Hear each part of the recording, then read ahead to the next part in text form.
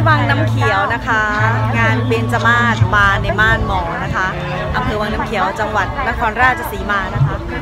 มีดอกเบญจมาศหลากหลายชนิดมากเลยนะคะ เดี๋ยวสังเดินจะหมุน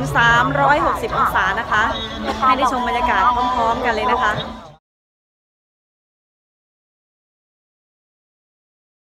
เดี๋ยวเราไปสถานีต่อไปนะคะ